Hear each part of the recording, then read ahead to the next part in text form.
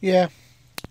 I picked this up at the Goodwill shop like today, literally like about a few hours ago. I mean, yeah.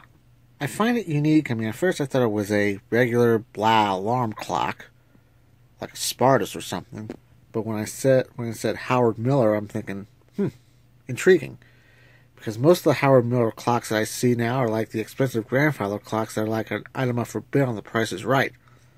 I mean, actual retail price $1,283. Come up and play a pricing game. But yeah, I mean, I took the tag off because I'm. I mean, I find leaving the tag on is like kind of tacky.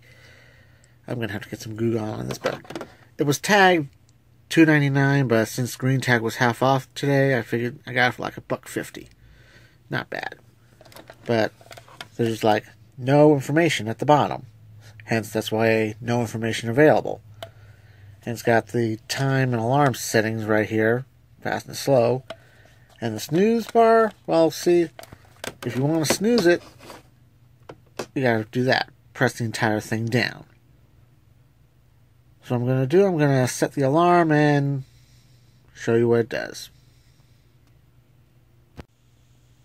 Okay, and believe it or don't, the alarm is on.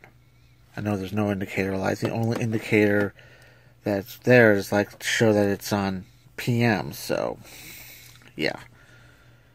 We patiently wait.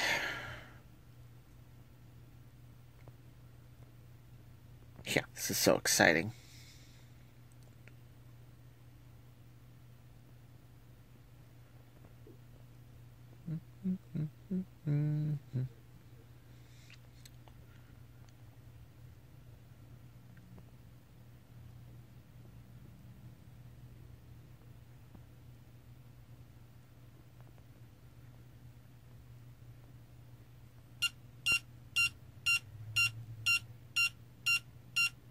Not very loud, but exceptionally annoying. And snooze it.